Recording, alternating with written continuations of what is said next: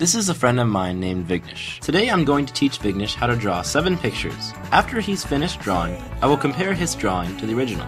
The most effective approach would be a socio-cultural perspective, because Vignesh's behavior is the result of my verbal commands. The experiment utilizes social learning, because Vignesh will learn based solely on verbal instructions. Similarly, the experiment could utilize the following types of learning. Operant conditioning, in which Vignesh is punished for each incorrect drawing. Cognition, in which Vignesh draws what he thinks is correct from deductions made based on his prior knowledge of my thought habits. Trial and error, in which Vignesh makes small guesses as to what the drawing would be, guided only by a yes or a no from me.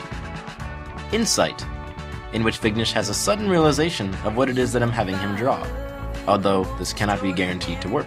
The process of habituation would not be effective in the experiment because we do not wish to dissolve away a behavior, we wish to create a new one. The process of classical conditioning would also be ineffective, because we wish to change the behavior, not what affects the behavior. Now on with the experiment. Ethics. For the sake of experimentation, guidelines must be kept. For example, I will not keep Vignesh against his will to continue the experiment, and I will not cause long-term physical or mental harm to him.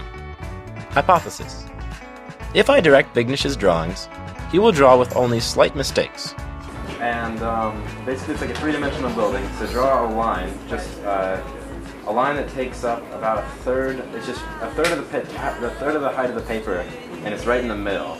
So you're gonna draw like a V on top and a V on bottom. You understand what I'm saying? Oh, okay, I got So it's like a three-dimensional building. You're looking at the edge view. So a V on top, V on bottom, and then the the two point the two points of the V.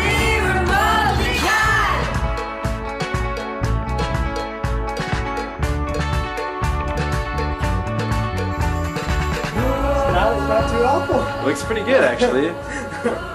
I, I said the, the middle line was in the. Actually, yeah. Vignesh continued to perform exceptionally well. His drawings had only slight mistakes in them, but otherwise they were nearly spot on. My hypothesis was correct because Vignesh's drawings were only slightly dissimilar to the originals. The experiment could have been improved by using an additional participant so that the method can be tested over a wider sample space, and by using a participant with whom I have no previous friendship.